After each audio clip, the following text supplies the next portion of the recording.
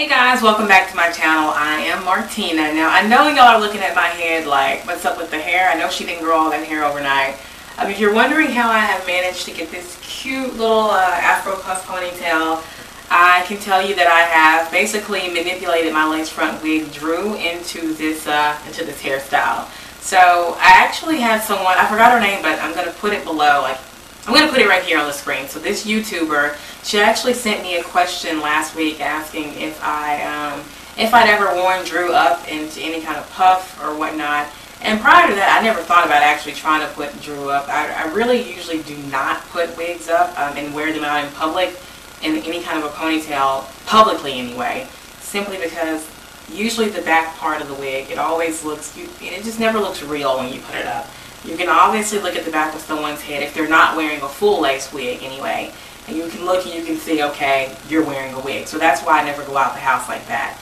Um, but this time I thought, you know, maybe there's got to be some kind of way I can manipulate it and pull it off and make it cute enough to wear out of the house. So I figured out how to do that and this is the outcome. And I've actually worn this out, this style out a couple times, just, you know, maybe even, I think it was actually three times this past week. And I love it. Um, it takes about 5 to 10 minutes to do this style if you're moving quickly. So, and it's not really hard to do. All you're going to need is some bobby pins. You're going to need a, um, like a, like the nylon pantyhose or a cut up nylon pantyhose. And you're going to need, of course, some of these handy dandy claw clips to basically, you know, help keep the hair out of the way. And, uh, maybe it's a little bit of Eco Styler gel and you're good to go. So I'm going to show you all how I achieved this look in just a second, but let me go ahead and show you just uh, a full turn here so you can get a, a grasp of the whole look I'm going for here. Okay, this is the side, obviously. The front, showing you all far back so you can see how massive that puff is. The top part, and I have a cute little headband that I got from the icing. The left and this is what it looks like up close, if you can see. The side, the back, looks real, right? Like if I saw this, I wouldn't even think that it was a wig, and I'm good at, you know, determining wigs. If you want to know how I achieved this look, stay tuned, and I'll help you figure it out, okay? Stay tuned.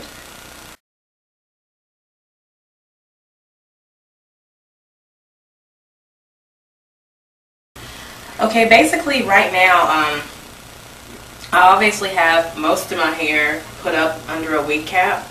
And you're probably wondering like, why do you have, why do you have this extra hair out around the perimeter looking like Krusty the Clown? I'm going to tell you why. I figured a lot of reasons why I do not like to wear wigs up is because I feel like um, they just don't look realistic. The back anyway even if you have a lace front, a lot of times they don't come with lace on the back. And Drew does not have lace on the back, by the way. So I feel like when you put the wigs up in a ponytail, it just looks weird to me. It looks really wiggy. So I never tried it. But, um, like I told you, I did try it a couple days ago, and I have a solution to uh, make it look less wiggy, and that's why I have this hair. Basically, I left um, a little bit of hair out, you know, my little, um, I guess my little sideburn here, right here. Not really a sideburn, but little um, edges right here. And then I left some hair out all around the perimeter. Now, I don't have a huge amount of hair out right now, but it's enough to basically be able to put on the wig and use that to kind of camouflage the back of the wig. And I'm going to show you that next. Um, basically, the first thing I'm going to do is, I just got out of the shower like 30 minutes ago, so my hair is a little bit wet actually it's starting to dry pretty much, but it's just a little bit wet right now. Um, I don't have any product in it. I have not touched it or anything, so this is just how it has decided to uh, to dry today. But I'm going to go ahead and wet it a little bit more and put some hair gel in it just to kind of give it a little more, um, to weigh it down a little bit so hopefully it won't shrink up as much. So let me go ahead and spray my little water on it really quickly. Um, the next thing I'm going to do for the hair that I've left out is just apply a little bit of the uh, Kinky Curly Knot Today um, leave-in detangler. Alright, and I'm just going to be putting a little bit of that on the hair. As you can see, just kind of working it through the hair.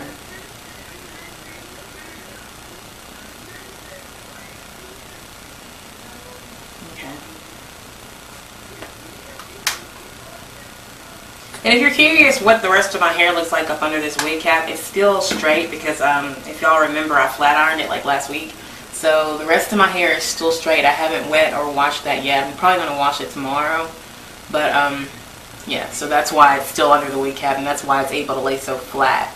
Is because it's still flat ironed from last week when I flat ironed it.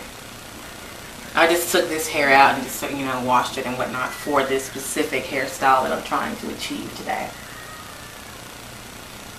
Okay, so now I have that on there. I'm going to go ahead and put a little bit of Eco Styler gel on that hair really quickly here. Ooh. And usually when I do my wash and goes, um, I do use these products, but I also use a few other ones. So this is not my typical wash and go um, when I'm defining my curls, this is not typically how I do it, but just for this style, uh, this is what I've chosen to do. Just, oh. Make sure it's evenly distributed, kind of. Always that one little patch in the back that I, that I don't get, or whatever. Okay. So, yeah, I think that's even. I'm to add a little bit on these edges over here. Yeah, I hate that. It gets a little too weight down on the looser textures up front. But anyway, it always shrinks on back up. Good old shrinkage. So yeah, I think this is good. For now anyway. Yeah. Okay. So now we're going to move on to actually applying the wig, which is I'm sure what all you, what you all actually wanted to see, not me uh, moisturizing and gelling up my, my hair in the back. Anywho, sorry about that. I'm putting the top back on. Alright, well, let's get right to it. Um, if you notice, I already have the wig. It was kind of already like puffed already from the other day or yesterday when I wore it. So I'm going to take this out and what I'll be using today to make my puff is basically the usual uh, item. It is a cut off piece of uh, pantyhose. And a lot of people use these instead of any kind of headband or anything because they're really stretchy. And especially if you're doing this to your real hair, they're good with protecting it and not really damaging it. So a lot of people just cut, um, if you see, it's just a cut nylon pantyhose. Alrighty, so the first thing you want to do or the first thing that I do when I put on my, uh, my wig. So I usually just slide it onto my forehead first, like this, if you can see that. You can't see it. Ugh. And then once it's on my forehead like this, I pull it on back to the back of my head.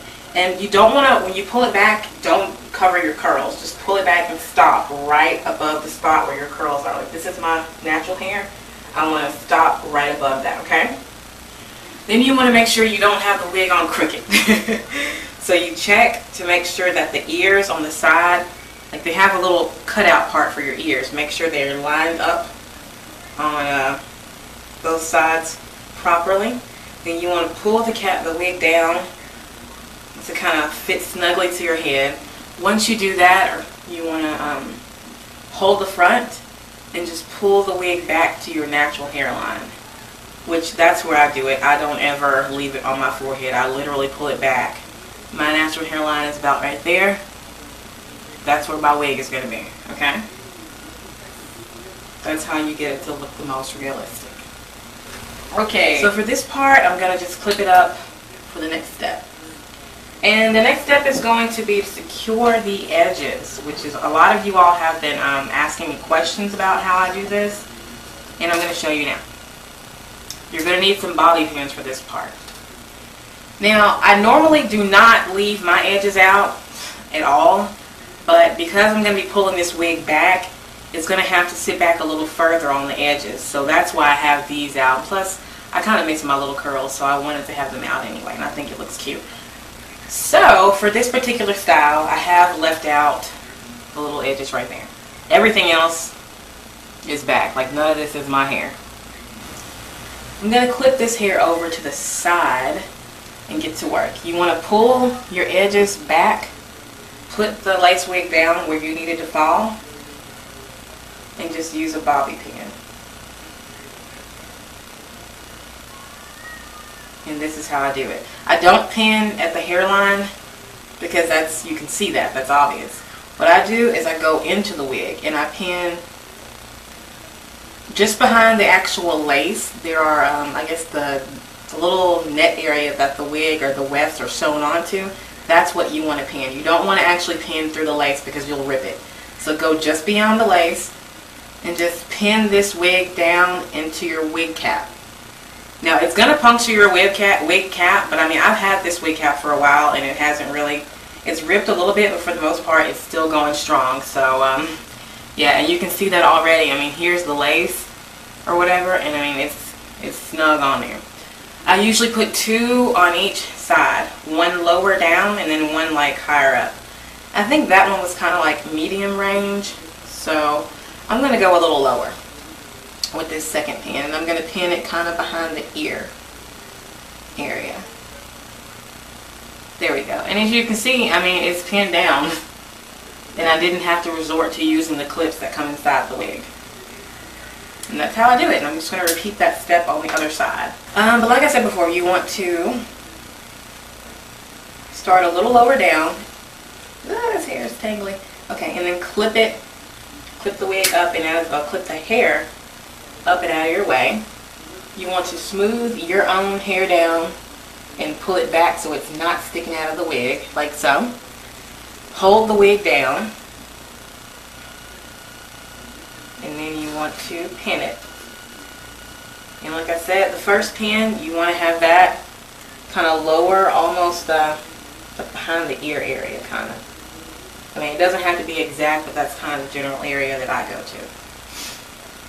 Now this side is still kind of loose, so I might uh, I might have to resort to using three pins. We'll see.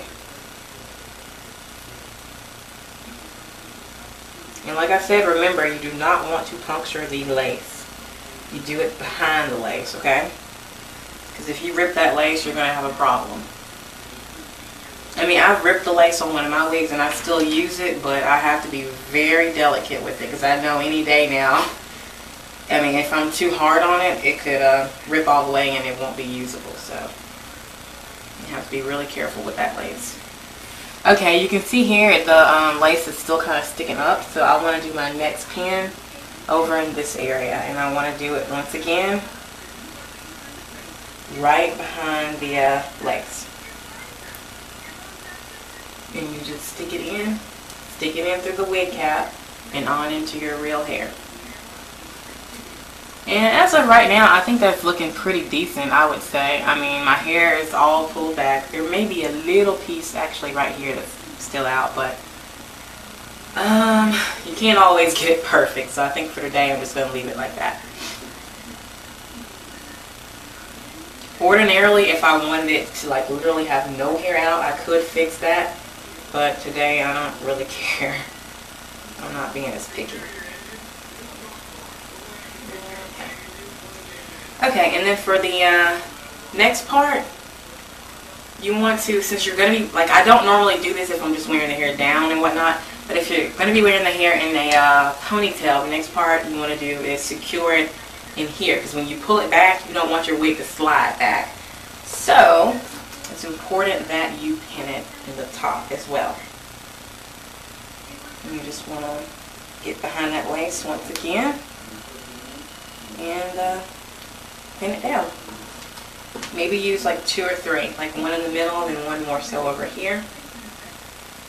And make sure your hair is out of the way because you don't want to pin the hair down. You just want to pin the, uh, I guess you would call the scalp or the wefts or whatever you want to call it down. You don't want to actually pin the hair. hard time getting that. Okay. And I'm going to do one more on the left hand side. Like I just told you all, this is not, I don't pin the top every day. I'm just pinning the top today since I'm wearing it pulled back in a ponytail and I don't want it to slide.